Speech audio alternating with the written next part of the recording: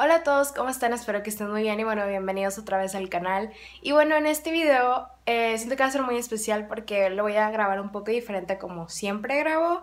Primero que nada, no traigo maquillaje. Segundo, no estamos sentados en el mismo lugar de siempre, si estamos en la misma locación. Aquí pueden ver que se parece. Em, pero lo quería hacer tipo vlog porque quiero que sea más personal y explicar un poquito mejor mi proceso de cómo yo hago un retrato vuelvo a lo mismo, eh, no es un proceso tan complicado, al menos para mí en realidad es muy fácil, pero sé que la técnica que yo tengo no la puedo explicar de la manera en la que ustedes me pueden entender porque solamente lo hago naturalmente. Entonces, Espero que al menos con los time lapses me entiendan un poquito y vean cómo la mano, al menos qué colores uso. Igual yo les voy a decir los colores que uso, les voy a decir los nombres por si ustedes tienen los Prismacolor Premier, porque eso es lo que yo personalmente uso en mis trabajos, ya sea para venderlos o para personal. Entonces, eh, espero que les sirva mucho y vamos a empezar con el video. Y bueno, aquí tenemos eh, nuestra cartulina opalina, no use papel, es muy importante, estoy usando cartulina. Eh, yo usualmente uso Bristol, me gusta un poquito más el término del Bristol porque creo que es un poquito más brilloso que el cartulina, o lo que yo he observado. Entonces es en color blanco, no estoy usando otro color, es blanco, simple. Em, y la marca, la verdad no, sé, no le sé decir, tiré la hoja donde venía la marca, pero cualquiera sirve bastante bien. Yo lo compré en Adosa y me salió muy económico. Aquí tengo eh, la imagen, la tengo en mi celular. Ahorita sí puedo, la paso a mi, a mi computadora, pero como voy a estar viendo Netflix, como pueden ver aquí, entonces no creo que se pueda porque cuando te sales no se puede ver y bla, bla, bla. Si tienen Netflix entienden el conflicto. Entonces posiblemente solo use mi celular como referencia. Escogí esta foto principalmente porque aquí podemos ver el detalle de los ojos, la boca, la nariz, las cejas. No quise enfocarme en el pelo porque es más complicado y requiere mucho tiempo y mucha paciencia. Entonces quizás lo explique en otro video. O hay muchos videos en YouTube que ustedes pueden checar y pueden ver la técnica de los demás al hacerlo. Igual yo ya tengo un video eh, de cabello realista. Pueden basarse de ahí, es básicamente el mismo proceso que hago. Lo voy a dejar aquí abajo en la cajita de descripción por si lo quieren ver. Y bueno, este, esta es la foto, me gustó mucho, es de un proyecto de un artista que trata de resaltar las, em, las freckles, las pecas. Y me gustó mucho el detalle, a mí lo personal me gustaban mucho las fotos y decidí hacer como que este homenaje. Y bueno, también creo que es muy importante tener tu área de trabajo limpia. Eh, yo la verdad limpié todo porque sí estaba un poco, eh, un poco desordenado porque estaba pintando con acuarelas y cuando pinto con acuarelas es bastante, bastante Em, como muchos sabrán, eh, desordenado por todas las pastillas que están aquí y allá, y bla, bla, bla, bla. Pero bueno, ya nos estamos yendo muy fuera del tema. Yo lo que voy a usar para mi dibujo es... Aquí tengo todos mis lápices y voy a buscar un 6H, que aquí tenemos uno. Esperen, lo voy a tratar de enfocar. Quien no quiere... Ahí está, y no se ve muy bien, pero es un 6H, es lo que yo uso. La punta, la verdad, la saqué con un exacto, la pueden sacar ustedes con un saque puntas o con lo que ustedes quieran y prefieran. Entonces, es lo que yo uso porque es muy eh, delgada la línea, es muy tenue, entonces al momento de tú a lo mejor volver a pintar con otro lápiz o con, o con lápices de color, no va a haber tanto grafito esparcido por ahí porque si empiezas a, pintar con colores, quizás el grafito se venga y se empieza a pintar como que se vea súper sucio el dibujo. Entonces yo les recomiendo un 5H o un 6H o un 7H. No, creo que un 7H ya es mucho. Entonces un 6H o un 5H les recomendaría yo. Y bueno, de colores, nos vamos a ir por acá. Aquí voy a usar mis Prismacolor Premier, esto es lo que yo uso estos dos porque aquí tengo los colores más... Eh, ya están más usados y pues el truco es acabártelos, no dejarlos eh, intactos. Les voy a enfocar aquí. Y estos son los que vienen en esta cajita. Si ya vieron mi video de Prismacolor ya los, ya los vieron, pero solamente les estoy dando un, una visión general del paquete. Y ahorita les voy a explicar qué colores uso. Primero voy a hacer el trazo del retrato. Entonces vamos a ello.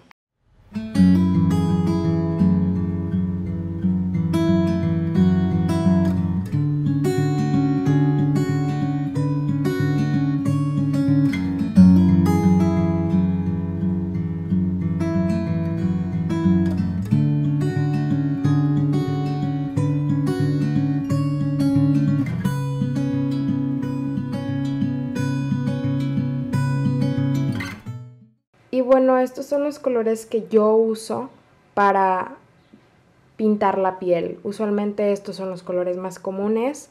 Eh, aquí les voy a dejar los nombres de todos los colores que utilicé.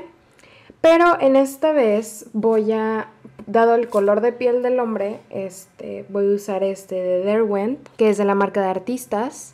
Y es en color, aquí lo pueden ver abajo, se los voy a poner el nombre bien para que lo puedan observar mejor.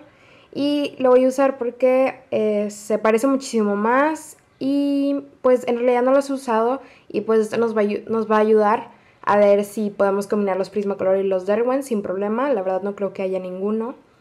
Pero será interesante ver el proceso, ya que nunca lo he hecho, entonces vamos a ver el proceso y a ver cómo queda. Sé que no se ve mucho eh, porque es muy... Eh, es muy... El trazo es muy claro entonces, la verdad batallé un poquito en el dado de las proporciones, lo que ustedes me habían preguntado antes. Yo también batallé con las proporciones, sobre todo porque estoy muy fuera de práctica con los retratos. Pero si es algo normal, yo usualmente lo primero que hago es hacer la nariz y de ahí partir hacia los ojos, porque usualmente estas dictan las, las líneas, digamos, invisibles o ocultas que hay, ya que puedes decir, no, pues aquí termina la nariz y cuando subes está esta parte del ojo o está el lagrimal o está ya empezando el, iris o la ceja. Es como te vas a maquillar. Si, te maquillas, si eres mujer y te maquillas, creo que podrías entender mejor el proceso de lo que es eh, dictar el orden de, la cara por medio de la nariz. Y de aquí también, vas para abajo. Eh, usualmente sí empiezo por la nariz porque es el centro de la cara. Aunque también a veces empiezo por los ojos porque a veces son lo que más destaca. También tienes que ver qué es lo que más destaca en la fotografía. Si es, los ojos, la nariz o la boca. O la cara en sí. Yo usualmente, como les digo, empiezo por los ojos o por la nariz. Entonces, em, ahora vamos a empezar a pintar. Yo primero empiezo por la piel y luego ya me voy yendo hacia los ojos, las cejas y creo que siempre termino en la boca. La verdad, no hay un orden pero usualmente es lo que yo escojo hacer. Entonces espero que en el timelapse eh, puedan ver mi técnica. En realidad no hay mucha diferencia, en realidad lo que yo uso es, y creo que no lo expliqué antes, es usar el blanco. Sí, en mi, sí, de hecho ahora que lo recuerdo en mi video de Prismacolor, coloreando con Prismacolor, les menciono que yo difumino con blanco y de hecho ya está un poco chiquito, este, porque es el que más uso.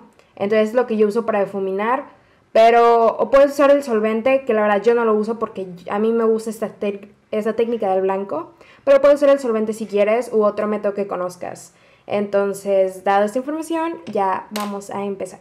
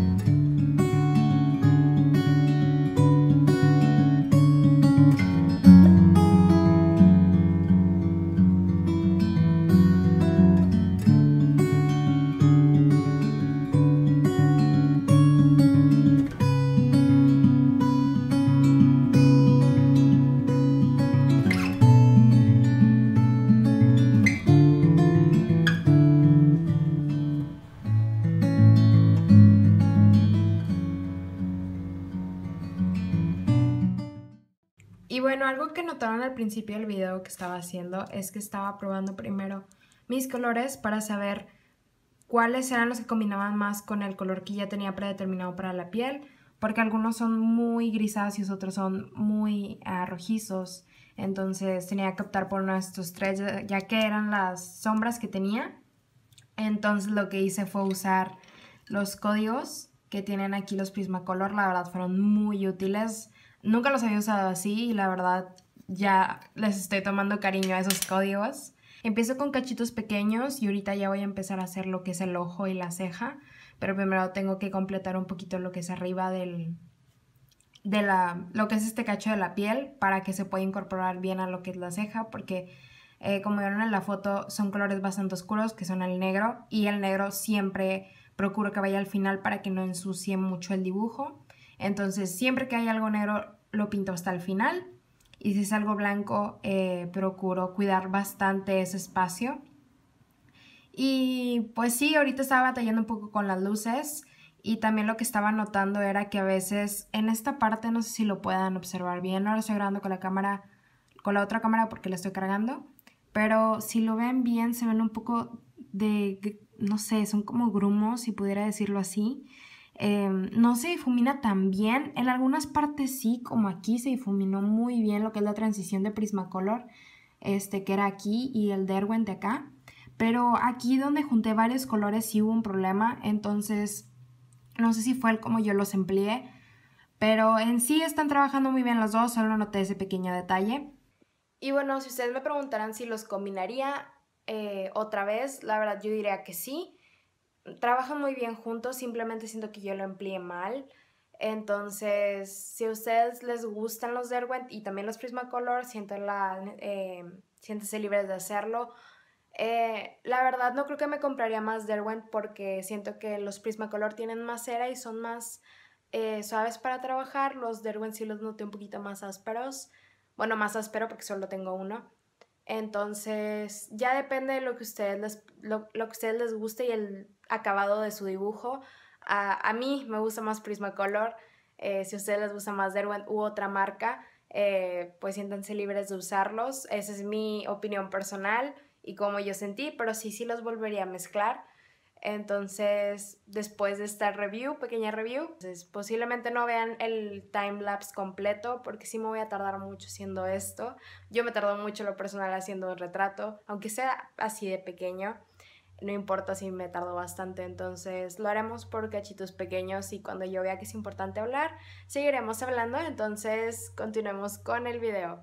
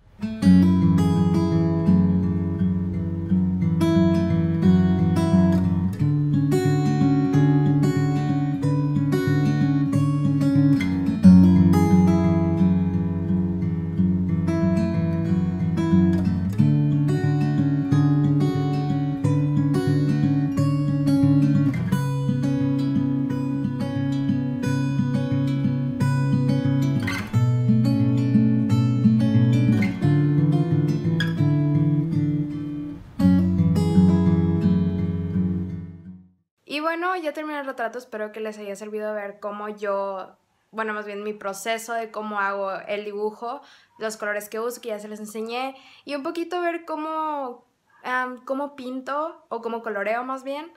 Eh, ya sé que no se vio mucho el proceso de cómo yo lo dibujo, pero es que todo eso a base de proporciones y eso de proporciones es a base de práctica y estar eh, constantemente intentando eh, que te salgan bien, de que la qué tan lejos están los ojos de la boca, de la nariz. Y ya intenté yo explicarles un poquito. Entonces espero que todos los tips les hayan ayudado. Igual no hay ningún problema si ustedes empiezan calcando la imagen, no tiene nada de malo empezar así. La cosa es no hacerlo cuando es ya algo profesional, inténtenlo solo hacer mientras están practicando. Y bueno, este, en verdad espero demasiado que les haya servido y que les haya, y que les haya gustado el, estilo de blog slash timelapse que es esto a mí me, me, gustó, siento que es un poquito mejor explicado y se da a entender mejor. Entonces, si les gustó, díganme en los comentarios, si tienen otra pregunta o no sé, quieren ver algún video en especial, también lo pueden dejar en los comentarios o en mis redes sociales que van a estar aquí, los links abajo. Entonces, yo me despido y nos vemos muy muy pronto. Hasta luego, bye.